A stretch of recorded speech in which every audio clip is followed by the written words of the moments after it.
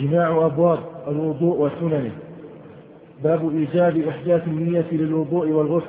قال أخبرنا يحيى بن حبيب الحارثي وأحمد بن عبدة الضبي.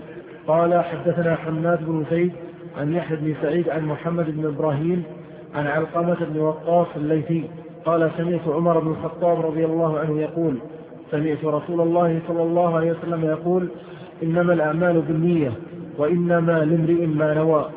فمن كانت هجرته إلى الله وإلى رسوله فهجرته إلى الله وإلى رسوله. ومن كانت هجرته إلى دنيا يصيبها أو امرأة يتزوجها فهجرته إلى ما هاجر إليه. نعم وهذا حديث عظيم الشيخان وغيرهم. وفيه وجوب النية للعبادة ومن ذلك هو الوصول لا تصح النية تصح العبادة إلا به إنما الأعمال بالنية. نعم. قال لم يقل أحمد وإنما لامرئ ما نوى. قال أخبرنا محمد بن وليد قال أخبرنا عبد الوهاب يعني بن عبد المجيد الثقفي. قال سمعت يحيى بن سعيد يقول أخبرني محمد بن إبراهيم أنه سمع علقمة بن وقاص الليثي يقول سمعت عمر بن الخطاب رضي الله عنه يقول سمعت رسول الله صلى الله عليه وسلم يقول الأعمال بالنية وإنما لامرئ ما نوى. باب ذكر تسمية الله عز وجل عند الوضوء. قال أخبرنا محمد بن يحيى وعبد الرحمن بن بشر بن الحكم. قال حدثنا عبد الرزاق. قال أخبرنا معمر عن ثابت وقتاد عن أنس رضي الله عنه قال طلب بعض أصحاب النبي صلى الله عليه وسلم وضوءا فلم يجدوا. فلم يجدوا فقال النبي صلى الله عليه وسلم ها هنا ماء. فرأيت النبي صلى الله عليه وسلم وضع يده في الإناء الذي فيه الماء. ثم قال توضأ بسم الله. فرأيت الماء يفور من بين أصابعه والقوم يتوضؤون حتى توضأوا من آخرهم. قال ثابت فقلت لأنس كم تراهم كانوا؟ قال نحو من سبعين. نعم وهذا فائدة بدون توضأ بسم الله. إيش قال؟ عليه؟ قال الآن كتابه صحيح. أن كذا فيه بسم الله توضأ بسم الله. هكذا قال أخبرنا محمد بن يحيى وعبد الرحمن بن بشر بن الحكم. قال حدثنا عبد الرزاق. قال أخبرنا معمر عن ثابت وقتادة عن أنس رضي الله عنه. ترجم باب إيش؟ باب ذكر تسمية الله عز وجل عند الوضوء. هذا مو ظاهر يحتمل توضأ بسم الله يعني تبركا بسم الله. وليس المراد يعني. انها الوضوء والحديث تسمية الوضوء ضعيف كلها ضعيف سامع الحافظ رحمه الله في آية البائدة ولهذا ذهب الجمهور إلى أن تسمية مستحب الحديث التي فيها الأمر تسمية ضعيف كلها ضعيف ذهب الإمام أحمد إلى أنه يشد بعضها بعضها ولهذا ذهب الحنابلة وجوب التسمية عند التذكر في متذكر وإذا لم سقط قالوا أن الحديث يشد بعضها بعضا كما قال الحافظ. وإن كانت ضعيفة كل كل فرد منها ضعيف لكن بعضها يقوي بعض. تدل على الوجوب عند التذكر عند الذكر. أما الجمهور فإنهم ذهبوا إلى نعم. باب الأمر بغسل اليدين ثلاثة. عند عام هذا عام ما في نعم. وثبوت أيضا فيها حديث حديث الله. نعم. حديث تكثير الماء من الغلبين نعم. صحيح ما أمركم في توبة بسم الله. نعم.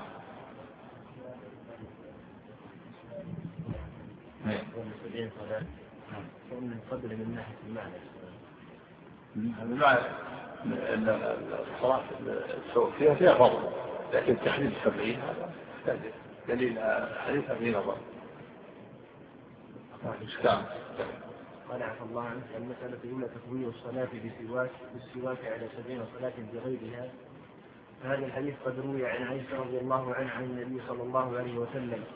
وهو حديث لم يروى في الصحيحين ولا في الكتب الستة ولكن رواه الإمام أحمد وابن خزيمة والحاكم في صحيحهما والبزار في مسنده وقال البيهقي إسناده غير قوي.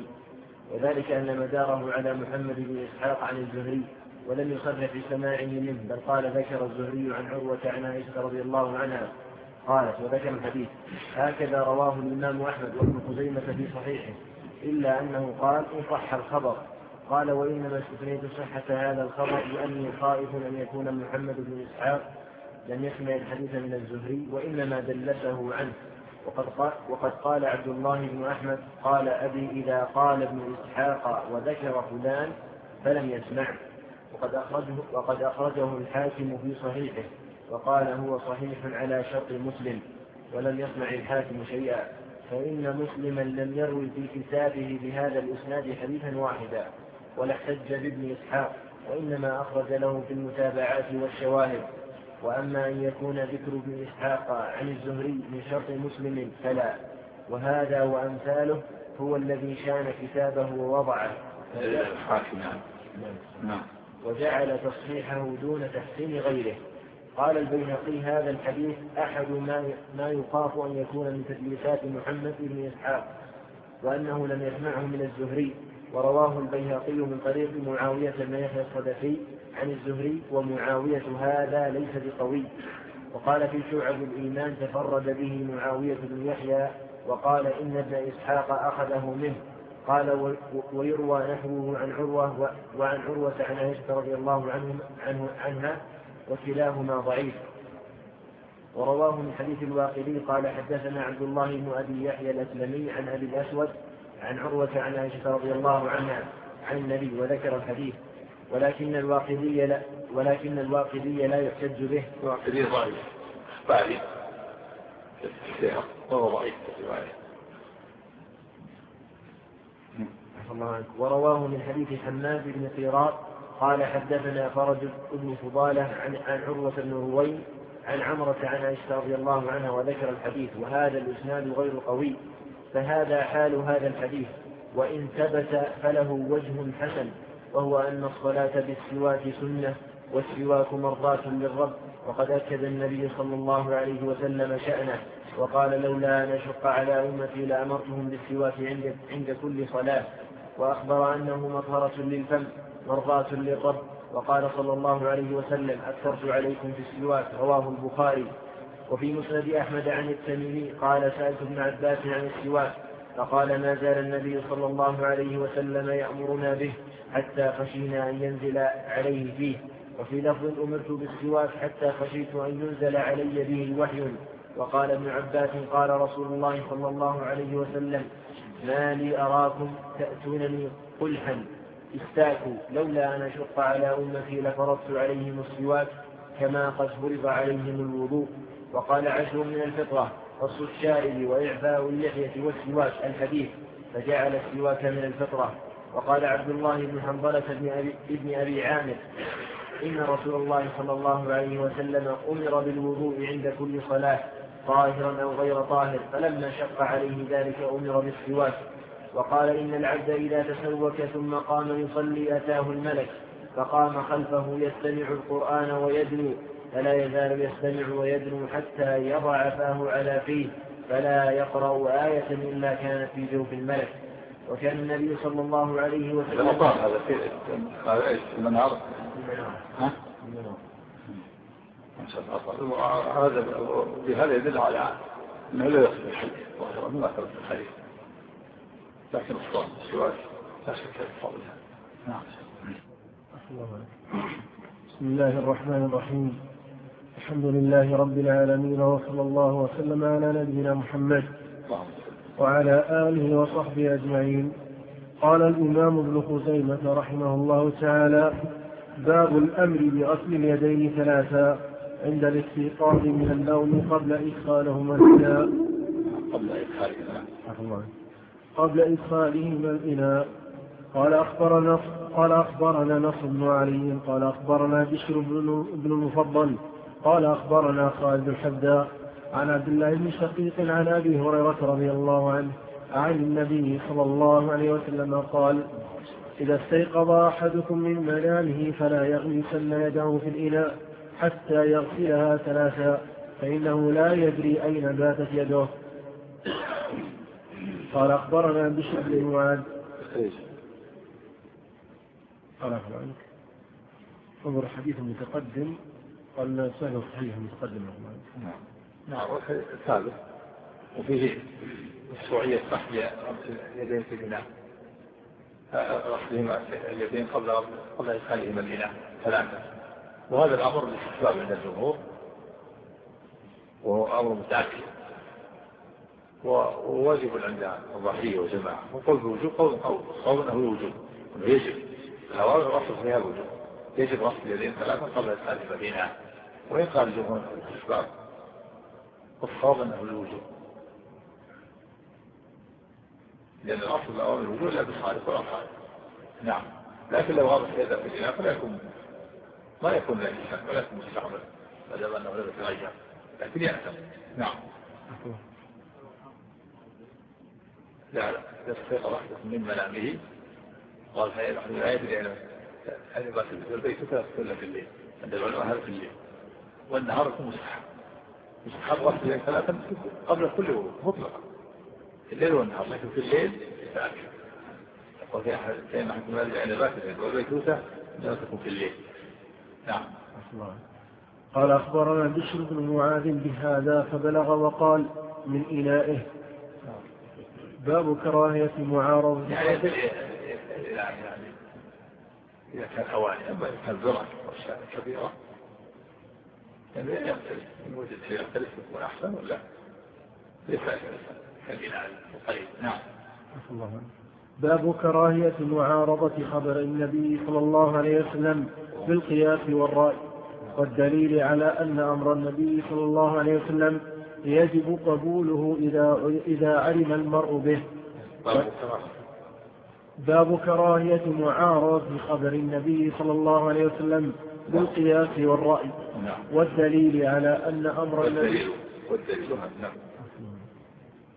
والدليل على أن أمر النبي صلى الله عليه وسلم يجب قبوله إذا علم المرء به وإن لم يدرك ذلك عقله ورأيه قال الله عز وجل وما كان لمؤمن ولا مؤمنة إذا قضى الله ورسوله أمرا ذلك عقله نعم وهذه الآية فيها أنه لا يجوز الإنسان أن يعارض أمر الله أو رسوله بل يجب عليه التسليم والقبول ولا يعرف المعنى وما كان لمؤمن ولا مؤمنة إذا قضى الله ورسوله أمرا أن يكون له خير من أمره ومن يعص الله ورسوله فقد ضل ضلالا مبينا. دل على انه معصية إذا خالف الأمر.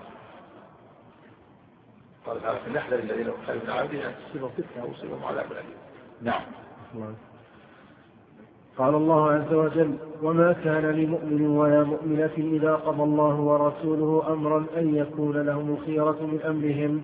قال أخبرنا أحمد بن عبد الرحمن بن وهب. قال أخبرنا عمي. قال أخبرني ابن لهيعة وجابر بن إسماعيل الحضرمي عن عقيل بن خالد عن ابن شهاب عن سالم بن عبد الله عن أبيه رضي الله عنه قال قال النبي صلى الله عليه وسلم إذا استيقظ أحدكم من منامه فلا يدخل يده في الإناء حتى يغسلها ثلاث مرات فإنه لا يدري أين باتت يده أو أين طافت يده. فقال له رجل أرأيت إن كان حوضا؟ قال فحفظه ابن عمر. وقال أخبرك عن رسول الله صلى الله عليه وسلم وتقول أرأيت إن كان حوضا؟ قال أبو بكر ابن لهيعة ليس ممن أخرج حديثه في هذا الكتاب. من أخرج. يعني إذا ضعف ضعيف. احتقت كتبه لكن قرأ بغيره نعم. قال أبو بكر ابن لهيعة ليس ممن أخرج حديثه في هذا الكتاب إذا تفرد برواية وإنما أخرجت هذا الخبر لأن جابر بن إسماعيل معه في الإسناد. نعم وفي هذا في تحذير من الاعتراض على قول الله وقول رسوله صلى الله عليه وسلم لما اعترض الرجل قال أرأيت؟ مرض عليه وفي على أن الرسول يرى أن وجوب غسل اليدين ثلاثا. يستيقظ من منامه ظاهر هذا أنه يرى الوجوب. لا يجوز أن يعترض على قول الله ورسوله نعم. كان الحش يتكلم عليه. قال عفوا الشيخ ناصر الألباني عفوا قلت لكن التحقيق العلمي. يقتضي أن ابن لهيعة صحيح الحديث إذا كان الراوي عنه أحد العبادلة ومنهم عبد الله بن وهب وهذا من روايته عنه كما ترى. وللحديث شاهد شاهد مرة عن ابي وهب. السند. قال أخبرنا أحمد عن ابن لا عن ابي وهب. لا نعم قال أخبرنا أحمد بن عبد الرحمن. قرن قرن غيره. قال الشيخ يرى أنه رأى والصواب أنه ضعيف. حتى رواية العبادة لكن إذا تعود أحسن من غيره. رواية العبادة أحسن من غيرها إذا روى عن أحد العبادة لكن لكن هنا مقرون بغيره مقرون بالارتيابة كما قال ابن كثير أنا ما أخذ عنها لكن لأنه طريق بغيره نعم. ثم قال أخبرت السنة صحيح. خرجه الدار قطني من طريق أبي بكر وابن ماجه إلى قوله حتى يغسلها باب صفة غسل اليدين قبل إدخالهما الإناء وصفة, وصفة, وصفة وضوء النبي صلى الله عليه وسلم. قال أخبرنا محمد بن أبي صفوان الثقفي قال أخبرنا عبد الرحمن يعني, يعني ابن مهدي قال أخبرنا زائدة بن قدامة عن خالد بن علقمة الهمداني عن عبد خير قال دخل علي الرحبة بعدما صلى الفجر ثم قال لغلام له ائتوني بطهور. فجاءه الغلام بإناء فيه ماء وطس قال عبد خير ونحن جلوس ننظر, ننظر, ننظر إليه. فأخذ بيمينه الإناء فأكفى يده فأكفى على يده اليسرى ثم غسل كفيه ثم أخذ الإناء بيده اليمنى بيده اليمنى فأفرغ على يده اليسرى فعله ثلاث مرات. قال عبد الخير كل ذلك لا يدخل يده الإناء حتى يغسلها مرات.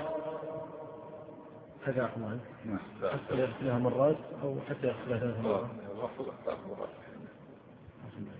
ثم أدخل يده اليمنى الإناء فملأ فمه فمضمض واستنشق ونثر بيده اليسرى ثلاث مرات ثم غسل وجهه ثلاث مرات ثم غسل ثم غسل يده اليمنى ثلاث مرات إلى المرفق ثم غسل يده اليسرى ثلاث مرات إلى إلى المرفق ثم أدخل يده اليمنى في الإناء حتى غمرها الماء. ثم رفعها بما حمل بما حملت من الماء.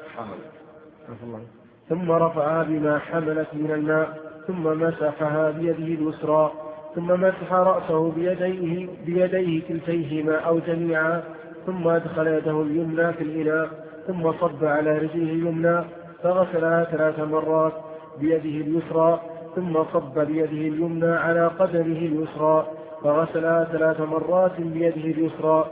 ثم أدخل يده اليمنى فملأ من الماء ثم شرب, ثم شرب منه ثم قال هذا طهور, هذا طهور نبي الله صلى الله عليه وسلم فمن أحب أن ينظر إلى طهور نبي الله صلى الله عليه وسلم فهذا طهوره. إيش إيش؟ لما في ثم إيش؟ الإناء عليه في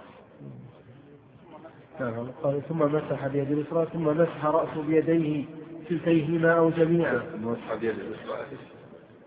يعني رأس اليد اليمنى. الذي قبل عثمان نعم. قال ثم أدخل يده اليمنى. طيب. في الإناء نعم. هذا فيه كيفية الوضوء في أنه يغسلهما ثلاثة. لأنه غسل أكفى على بيده اليسرى على يده اليمنى الإناء ثم غسل ثم أكفى بيده اليمنى على يده اليسرى. هذه كيفية الغسل لكن كذلك الصنبور البزبوز يفعل فهو يغسلهما جميعا لكن إذا كان إناء يصب يكفي من على اليمنى ثم أكفى ثم يكفى هكذا عندك في أوله أول ما بدأ أول. أكفى على اليسر فأكفى على يده اليسرى. فأخذ بيمينه الإناء فأكفى على يده اليسرى. ثم غسل كفيه ثم أخذ الإناء بيده اليمنى. فأفرغ على يده اليسرى فعله ثلاث مرات. إيش أخذ قال الله فأخذ بيمينه الإناء فأكفى على يده اليسرى. نعم. ثم غسل كفيه. ثم أخذ الإناء بيده اليمنى فأفرغ على يده اليسرى فعله ثلاث مرات. يعني ما أخذ اليمنى على اليسرى ثم شاركه باليمنى ثم ثم عاكس وأخذ الإناء باليسرى وصب على اليمنى المهم يحسنها ثلاثة نعم. بعد. باب انتهى. الحديث. انتهى الحديث. إيش بعد. تخريجه. في جعفر قال إسناده صحيح. كما في ذات نعم. في البخاري. نعم. بعد. نعم. باب إباحة المضمضة والاستنشاق من غرفة واحدة. بعد. بسم الله الرحمن الرحيم. هذه نعم. الحمد لله رب العالمين وصلى الله وسلم على نبينا محمد وعلى آله وصحبه أجمعين. قال الإمام ابن خزيمة رحمه الله تعالى باب إباحة المضمضة والاستنشاق من غرفة واحدة والوضوء مرة مرة. قال أخبرنا أبو بكر قال أخبرنا قال أخبرنا عبد الله بن سعيد الأشج. قال حدثنا ابن إدريس قال أخبرنا ابن عجلان عن زيد بن أسلم عن عطاء بن يسار عن ابن عباس رضي الله عنهما قال رأيت النبي صلى الله عليه وسلم توضأ فغرف غرفة فمضمض واستنشق ثم غرف غرفة فغسل وجهه ثم غرف غرفة فغسل يده اليمنى وغرف غرفة فغسل يده اليسرى وغرف غرفة فمسح رأسه وباطن أذنيه وظاهرهما. وأدخل أصبعيه فيهما وغرف غرفة فغسل رجله اليمنى وغرف غرفة وغرف وغرفة فغسل رجله اليسرى. خير. قال حسن فيه دليل على أن استحباب موضوع الاستنشاق من غرفة واحدة. هذا هو الأفضل كما في الصحيح وغيره. يأخذ غرفة يتبض منها ويستنشق وإن تبض بغرفة واستنشق بغرفة فلا حرج يأخذ غرفة للموضوع وغرفة للاستنشاق فلا حرج لكن الأفضل أن يتمضغ ويستنشق بغرفة واحدة. يفعل هذه ثلاثة. كما فعل النبي صلى الله عليه وسلم. وفي دليل أيضا على الوضوء مرة مرة. وهذا هو هو الواجب والمجزي أن يغسل كل عضو مرة. يعني والمراد بالمرة تعميمه بالغسل ليس غسل المراد تعميمه فإذا عمم في الغسل مرة يحتمل مرة. والأفضل ثلاث ثبت عن النبي صلى الله عليه مرة مرة ومرتين مرتين وثلاثة ثلاثة ومخالفة. في هذا أربع سنة. مرة مرة كل عضو مرة. مرتين مرتين. كل عضو مرتين. وكل ثلاثا ثلاثا. كل عضو ثلاث ومخالفة. بعضها مرة وبعضها مرتين وبعضها ثلاث. كل هذا جاء كل هذا ثبت السنة نعم الله عنك الغرفة يقسمها بين المضمضة اي نعم نفس في وقت. يأخذها تمضى ويستنشق نعم. نعم. ها؟ يتمضض ثم يمج الماء في فمه ثم يستنشق يتمضض ثم يستنشق ثم يأخذ الماء في فمه ثم يستنشق بيد اليسار باب الأمر بالاستنشاق عند الاستيقاظ من النوم وذكر العلة التي من أجلها أمر به. قال أخبرنا خالد بن عبد الرحمن بن عمرو بن الحارث المصري وأحمد بن عبد الله بن عبد الرحيم البرقي. قال حدثنا ابن أبي مريم قال أخبرنا يحيى بن أيوب قال أخبرنا أبو الحاج وهو يزيد بن عبد الله. عن محمد بن إبراهيم عن عيسى بن طلحة عن أبي هريرة رضي الله عنه عن رسول الله صلى الله عليه وسلم قال إذا استيقظ أحدكم من منامه فتوضأ فليستنفر ثلاث مرات فإن الشيطان يبيت على خياشيمه. قال أخرجنا أحمد البخاري نعم. طريق من أبي حاتم وفي الأمر حديث الأمر بالاستنشاق الاستنشاق الاستنشاق إدخال الماء في الخياشيم. اختلف العلماء قال بعضهم أن هذا استنشاق قبل الوضوء يستنشق ويستنفر يعني الشيطان يبيت على خياشيمه وقال آخرون إن المراد الاستنشاق في أثناء الوضوء الوضوء والاستنشاق لكن ظاهر الحديث إن المراد استنشاق قبل الوضوء لأن الاستنشاق قبل الوضوء منه معروف. قال بعضهم إن هذا هو انه إن هذا الأمر وجوب إنه ينبغي له أن يستنشق قبل الوضوء لأن الشيطان يبيت على خير نعم. تتكلم أيضا؟ وما في كلام عليه. نعم. باب الأمر بالمبالغة في الاستنشاق إذا كان المتوضي مفطرا غير صائم. قال أخبرنا قال أخبرنا الزعفراني وزياد بن يحيى الحساني وإسحاق بن حاتم في إثنان المدائن. ورزق الله بن موسى والجماعة قالوا إيش؟ قال أخبرنا قال أخبرنا الزعفراني وزياد بن يحيى الحساني وإسحاق بن حاتم بن سنان المدائني ورزق الله بن موسى نعم. والجماعة قالوا حدثنا يحيى بن سليم قال حدثنا إسماعيل بن كثير عن عاصم عن عاصم بن لقيط بن صبرة عن أبيه رضي الله عنه قال قلت يا رسول الله أخبرني عن الوضوء قال أسبغ الوضوء وخلل الأصابع وبالغ في الاستنشاق إلا أن تكون صائما. استعمل. قال إسناده صحيح وله متابع عند الحاكم. نعم هو حزب الحديث وفيه مشروعية المبالغة في الاستنشاق بغير الصائم. ولهذا قال النبي صلى الله عليه وسلم أسبغ الوضوء وخلل بين الأصابع وبالغ بين الاستنشاق إلا أن تكون صائما. ودل الحديث على أن الأنف منفذ وأنه كالفم ولهذا الشعور لا ينبغي للصائم الأنف لأنه يصل للحق. بخلاف العين والأذن فليستا منفذين ولهذا ذهب الشيخ الإسلام فيها إلى أنه لو اكتحل في عينه وهو الصائم أو قطر في أذنه ولا يعتبر مؤثر هذا لأن العين كذلك بخلاف العقل فإنه منفع قد يعقل عن طريق العقل ولهذا نهى نهى النبي صلى الله عليه وسلم عن المبالغة في الاستشراق وفيه استحباب المبالغة هي الاستشراق نعم بما في من كمال التمويل استشراق نعم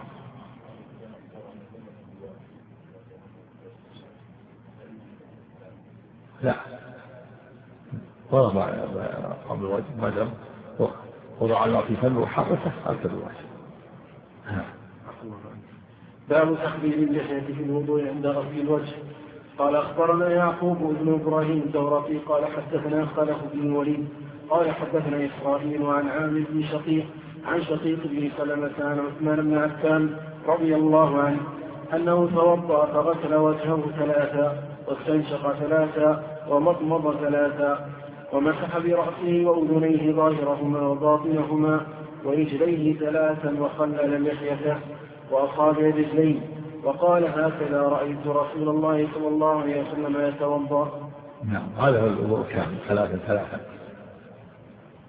وفيه يشرع التخليل في اللحية تخليل الأصابع واليدين والرجلين حتى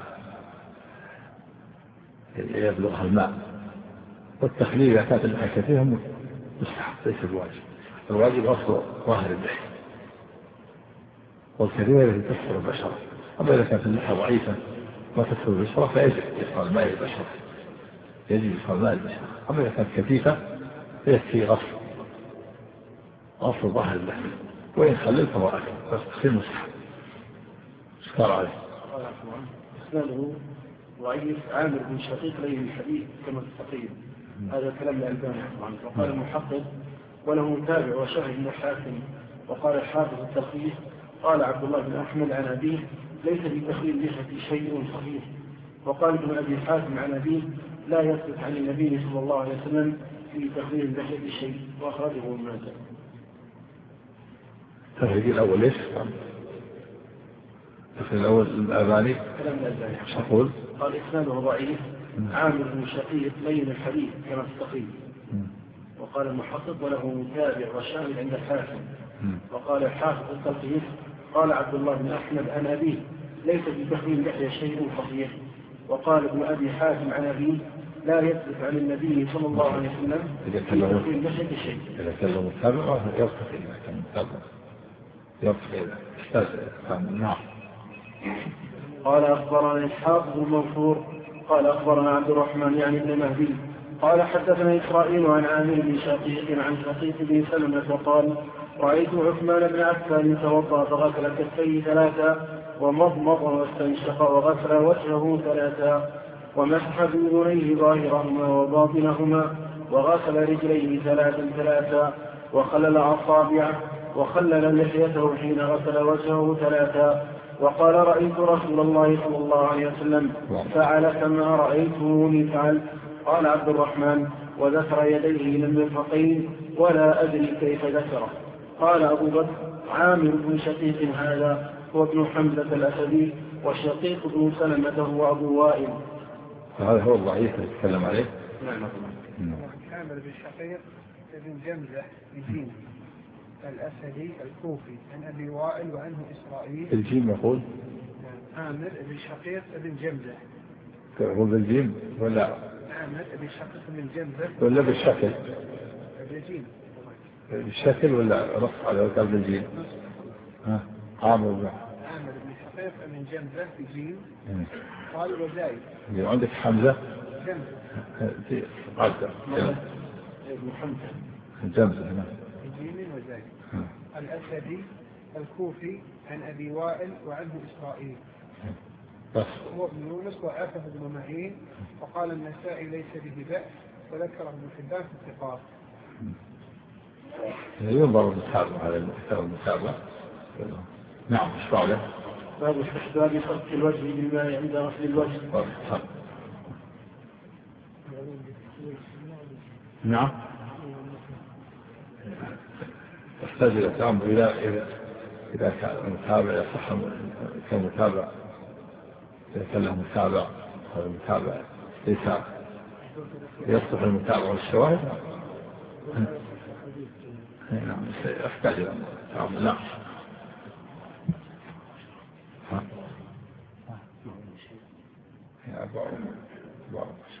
نعم الوجوب في مبالغة في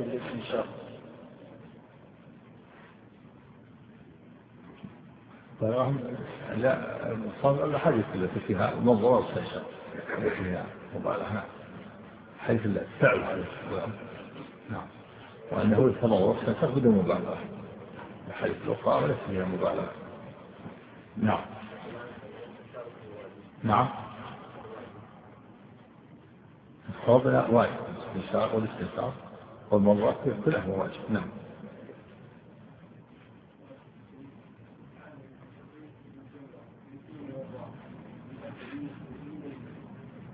تمرة. ما قال بالزايد جميل الراعي يقول تمرة هيك.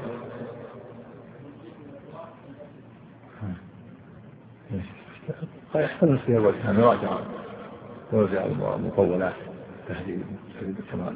نعم. جزانا. الاستنشاق والمضمضة عند القيام من النوم بالليل فقط. نعم هذا في الليل. إذا استغرق أحدهم من منامه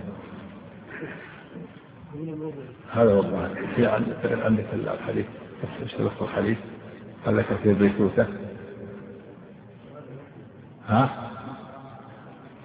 هو إنه نوم لأن نوم نوم الليل لأن نوم النهار في يكون قليل. نعم. بسم الله الرحمن الرحيم. الحمد لله رب العالمين والصلاة والسلام على أشرف الأنبياء المرسلين نبينا محمد وعلى آله وصحبه وسلم تسليما كثيرا إلى يوم الدين وبعد. قال الإمام ابن قيمة رحمه الله تعالى باب استحباب صك الوجه بالماء عند غسل الوجه. قال أخبرنا أبو طاهر قال أنبأنا أبو بكر قال أنبأنا يعقوب بن إبراهيم الدورقي قال أنبأنا بن علي قال أنبانا محمد بن إسحاق قال حدثني محمد بن طلحة بن يزيد ابن ركانة عن عبيد الله الخولاني عن ابن عباس قال دخل علي علي بيتي وقد بان فدعا بوضوء فجئناه بعقب بعقب بقعب يأخذ المدة أو قريبا نعم بقعب بقعب يأخذ المدة أو قريبا يعني قدح. قدح من الخشب نعم. إناء من الخشب نعم. حتى وضع بين حتى وضع بين يديه. قعب يأخذ إيش؟ فجئناه بقعب يأخذ المدة أو قريبا نعم. حتى وضع بين يديه. فقال يا ابن عباس ألا أتوضأ لك وضوء رسول الله صلى الله عليه وسلم؟ فقلت بلى فداك أبي وأمي. قال فوضع له إناء فغسل يديه. ثم مضمض واستنشق واستنثر ثم أخذ بيمينه يعني الماء فصك بها وجهه وذكر سبيله. اشتغل أخرج قال إسناده حسن من أجل الخلاف المعروف في ابن إسحاق وقد صرح وقد صرح بالتحديث. إذا صار أي زال زال محصول لأنه ثقة. هذا السند قال أو ذلك. ها؟ أعد السند قال أخبرنا أبو طاهر قال أنبأنا أبو بكر قال أنبأنا يعقوب بن إبراهيم الدورقي قال أنبأنا ابن علية قال أنبأنا محمد بن إسحاق قال حدثني محمد محمد بن طلحة بن يزيد ابن ركانة عن عبيد الله القولاني عن ابن عباس. إيش هو أخذ معك؟ فكوي فقال آه، ثم أخذ بيمينه يعني الماء فصك بها وجهه. قبل قبل إيش؟ الباب. لا المتن قبله. نعم قال دخل علي علي بيتي وقد بال فدعا بوضوء فجئناه بقعد يأخذ المدة أو قريبا.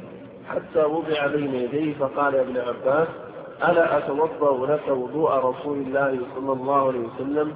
فقلت بلى فداك أبي وأمي. قال فوضع له إناء فغسل يديه ثم مضمض واستنشق واستنثر ثم أخذ بيمينه يعني الماء فصك بها وجهه. يعني غسل وجهه. صك بها وجهه يعني غسل وجهه يعني كان من بعد. الم- المقصود غسل الوجه نعم نعم. إيه.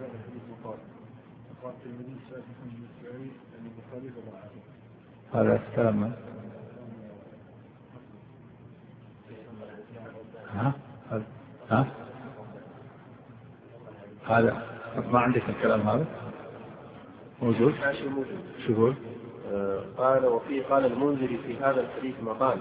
وقال الترمذي سألت محمد بن إسماعيل يعني البخاري فضحكه في مقال مقال من أجل إيش؟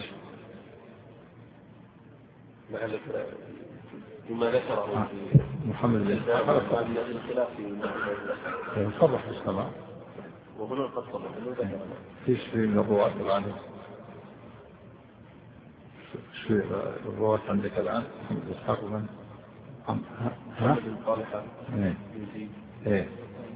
إيه. بن ركانة هو كان كلها يحتاج إلى أوراق المنذري أو الإنذري معروف. إمام.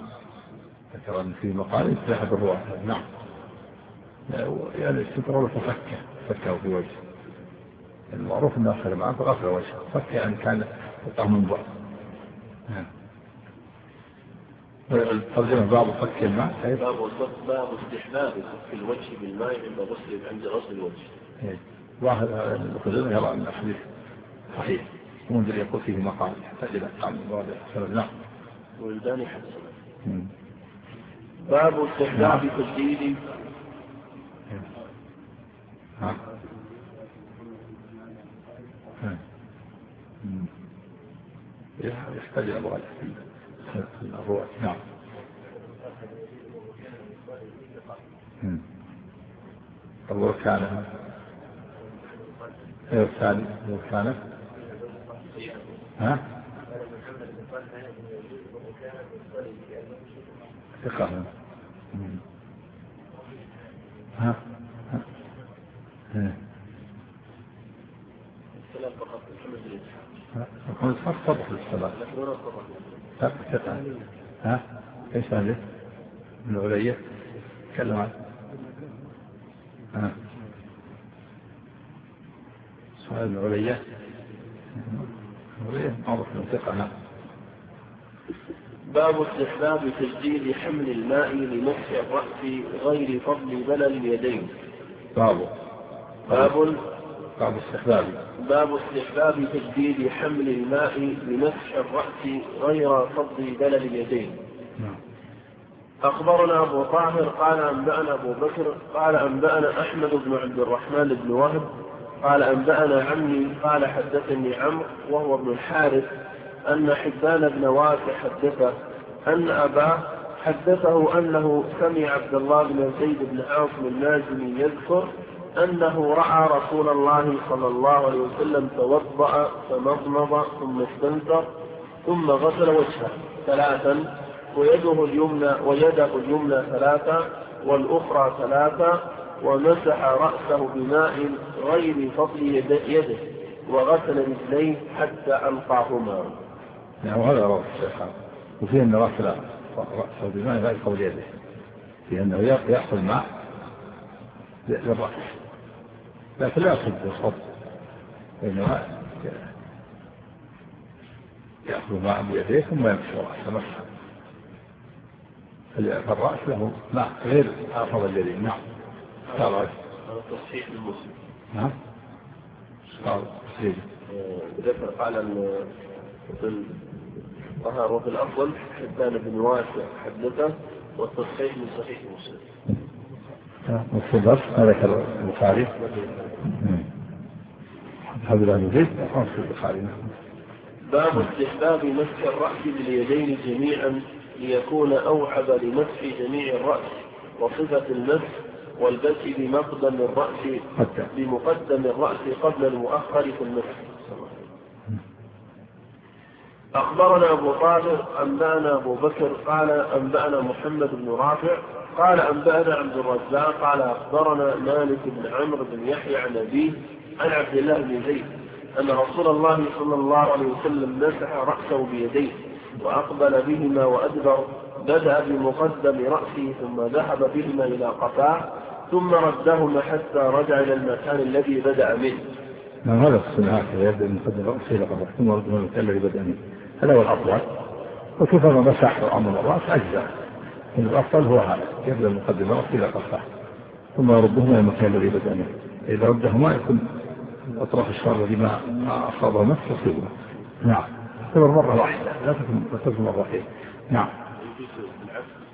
نعم لا لكن هذا الأفضل إذا بدأ منا أو بدأ أو مسح بيد واحدة كفى نعم نعم هذا هذا هو الأفضل وكيف المسح إذا مسح لو مسح هكذا أو مسح هكذا. كفى. المهم عم الرأس نعم.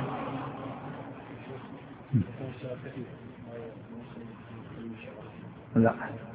بس ما لا. صار اللحية نعم. أخبرنا أبو طاهر قال أنبانا أبو بكر قال أنبانا سعيد بن عبد الرحمن المخزومي قال أنبانا سفيان بن عيينة عن عمرو بن يحيى المازني عن أبي عن عبد الله بن زيد أن رسول الله صلى الله عليه وسلم توضأ فغسل وجهه ثلاثة وغسل يديه مرتين ثم مسح برأسه وبدأ بالمقدم ثم غسل رجليه. نعم. وفيه أنه توضأ مخالفة غسل وجهه ثلاثا ويديه مرتين. هذا الثابت عن النبي ثلاثا ومرة مرة ومرتين مرتين وثلاث ثواني ومخالف وفيه أنه بدأ المقدم رأسه هذا هو الشاهد. نعم. باب ذكر الدليل على أن المسح على الرأس إنما يكون بما يبقى من بلل الماء على اليدين لا بنفس الماء كما يكون الغسل بالماء. إيش؟ باب الدليل. باب ذكر الدليل على أن المسح على الرأس إنما يكون بما يبقى من بلل الماء على اليدين لا بنفس الماء كما يكون الغسل بالماء. يعني ما يأخذ ما يصبه على الرأس بينما يأخذ بيده يذلهما ثم يصب ولا يأخذ ما يصب على الرأس مثل ما يغسل يديه يأخذ ماء يغسل وجه يأخذ ماء يغسل الوجه واليد يصب على الماء. أما الرأس ما يأخذ ما يصب على الرأس. إنما يبل يديه في الماء ثم يصب نعم.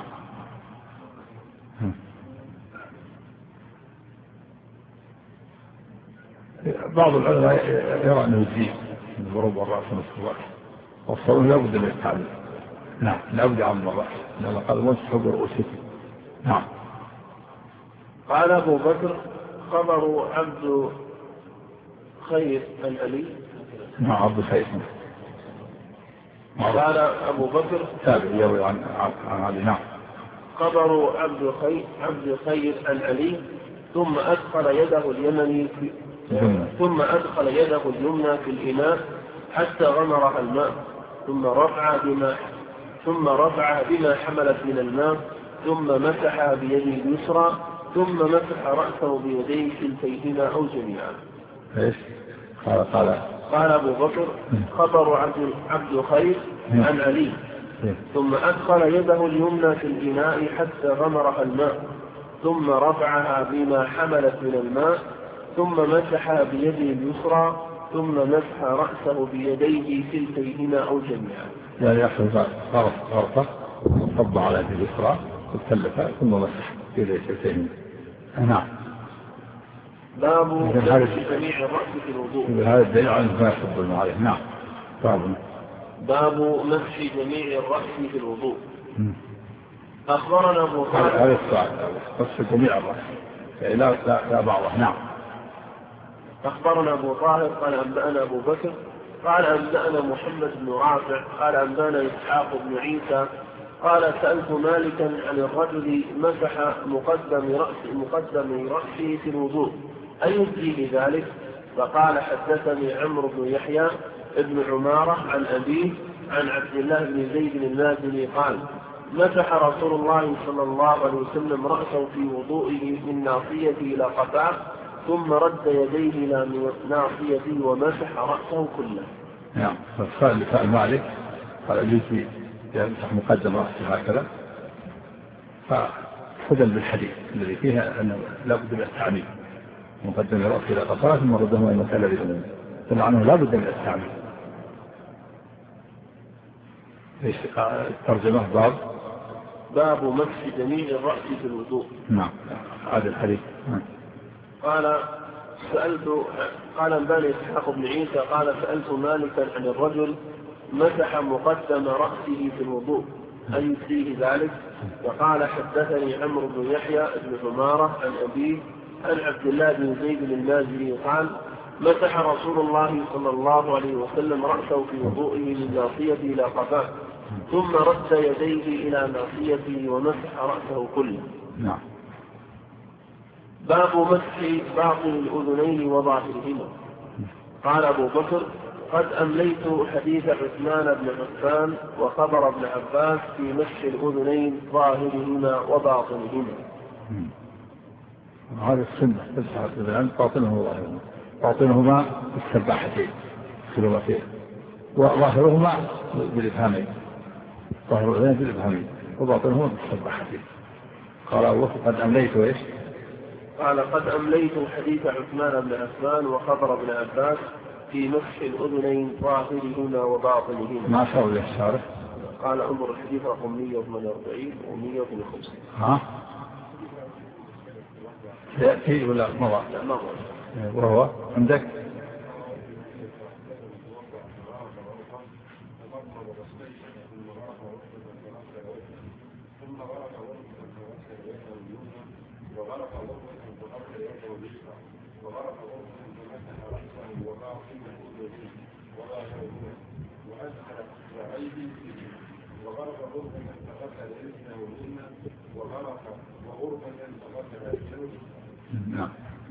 والأذنان سبعا للرأس يمسحهما بما في البلع الذي في يديه ولا يأخذ ماء جديدا. نعم ها؟ طيب إيش؟ اي نعم هذا هو الصواب ها؟ إذا كان ما يضر النفس يمسح عليها إذا كان عليه جبر يمسح عليها إذا كان يضره نعم يمسح بقية بقية الرأس والشجة نعم باب ذكر الدليل على أن الكعبين اللذين أمر المتو... أمر المتوضئ بغسل الرجلين إليهما العظمان الناتئان في جانبي القدم ها؟ وكيف؟ وهذا هذا موقف على صحة الخير صح الحديث؟ هذا سؤال من الشبكة أحسن الله فضيلة الشيخ وفقك الله ما حكم الرطوبة التي تخرج من المرأة؟ هل هي نجسة؟ وهل عليها وضوء لكل صلاة؟ من منتدى الرحيق المقسوم على البالزوم نعم. إذا إذا كان تخرج من فرج الرطوبة نعم. تخرج من فرج تتوضأ الأصل كل خارج من السبيلين يوجب الوضوء تنجي تنجي ثم تتوضأ نعم. هذا السائل الأخ زياد من الولايات المتحدة من يأخذ الباقي بعد أن تأخذ البنت النصف إذا كانت واحدة. أولى رجل لك. يقول النبي صلى الله عليه وسلم أشهد أهلها فما بقي فلأولى رجل لك إذا كان لك عم أو ابن عم أو ابن ابن ابن عم أو أخ أولى رجل ذكر يأخذ فإن لم يوجد فإنه رد على البنت. فرضا ثالث الباقي فرضا وردا. على الصحيح ولهذا عقد الفرابيين فأرسلوا باب الرد يرد على جميع الورثة مع الزوجات نعم. سؤال من الكويت سائل بدر المري. يقول ما القول الفصل في حكم من ارتكب محظور محظورا من محظورات الإحرام ناسيا أو جاهلا؟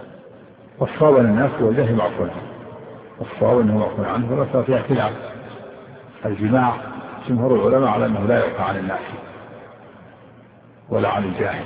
قال الصحابة ما فرقوا بين الناس والجاهل. والقول الثاني أنه معفون عنه. والصواب. نعم. يقول أيضا يقول نرجو منكم شرح حديث لا يصلح آخر لا يصلح آخر هذه الأمة إلا بما صلح به أولها. هذا مو حديث هذا كلام الإمام مالك رحمه الله. ولا يصلح آخر الأمة إلا ما أصلح أولها المعنى أن أول هذه الأمة صلحوا بالتوحيد. والقيام بأمر الله وأداء حقه والجهاد في سبيله والإيمان بالله وبرسوله هذا هو الذي صلح صلح أول هذه الأمة آخر هذه لا يصلح إلا هذا استقاموا على أمر الله ووحدوا الله وحقوا العبادة وأمنوا بالله ورسوله وجهلوا في سبيله صلح هذا. فإن لم يفعلوا فلا تصلح هذا. هذا معنى الاستقامة. نعم. يقول هذا السائل إذا جامع رجل زوجته على أنها قد طهرت وقد سألها وقالت أنا طاهر فلما جامعها وجد أثر الدم في ذكره فما الحكم؟ وهل عليه صدقة؟ ظاهره ما يتعمد إذا لم يتعمد هذا ولا من حرج.